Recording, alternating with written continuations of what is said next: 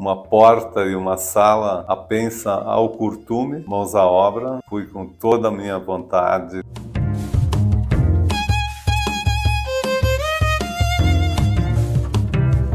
Começa em 1995 eu trabalhei por 20 e poucos anos na área calçadista. Chegou um momento que eu desisti do calçado e me apresentei para a antiga empresa que eu, que eu tinha começado. E foi quando eles me sugeriram que eu fosse empreender uma corretora de seguros. Passado alguns meses, eu estava começando a prosperar. Havia aí algumas ideias já estavam fluindo de que se abrisse uma holding, juntasse médicos, advogados, empresários e, e o grupo que se formou foi de 40 pessoas. Criou na época a Pula Administração. Veio uma ideia de que a gente fosse empreender como corretora de seguros foi sugerido que eu administrasse. Eu fui me habilitar na SUSEP, que é o órgão controlador júnior de 96 foi criado a Pulseg Corretora de Seguros. Já em 97 mudamos de sala para uma sala maior. Em 2006 entramos numa sala ampla em Canabarro, na rua Capitão Schneider.